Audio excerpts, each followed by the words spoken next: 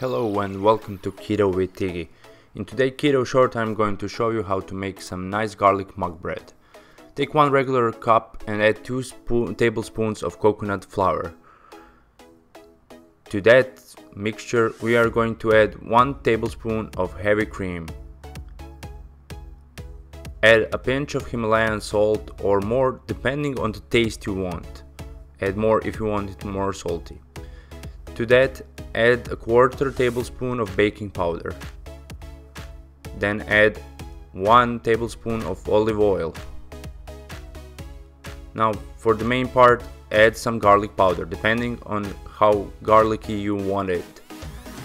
Add more if you want. Now I forgot to add the egg before starting mixing, you should do that before the mixture will be easier to blend together.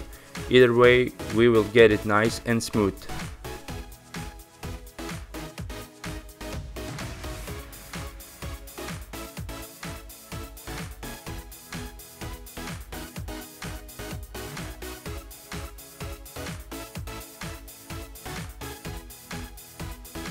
Now you need to take the cup and put it in the microwave on the high setting for 90 seconds.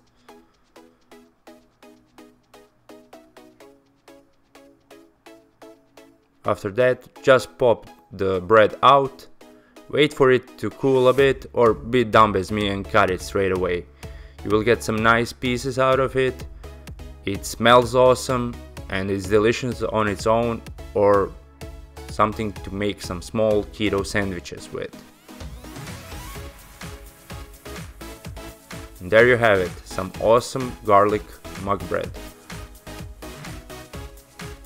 Don't forget to like the video and subscribe to the channel and see you all on the next recipe.